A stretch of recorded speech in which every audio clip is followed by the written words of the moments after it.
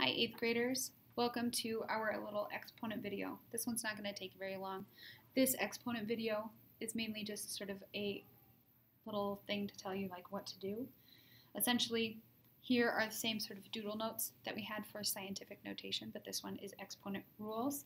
So I'd like you to sort of work yourself through this as you have your answer key for this. It has in the Canvas lesson for this, there is an answer key that has all of the things that you're supposed to write in these various places in red. So there's things right here written in red, things right here that are written in red, same with right here and here and here and here and here and all that sort of stuff. There's all sorts of things written in red.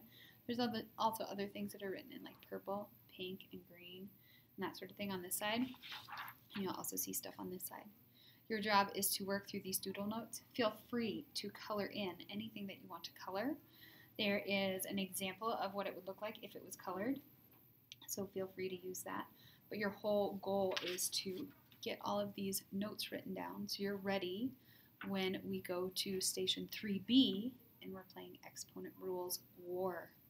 So get yourself all set and ready to go by looking at that answer key and getting all of the notes written down and coloring this up in a way that you'll eventually remember all of those notes too and have this sort of highlighted in your brain. Thank you for watching, and I will see you later.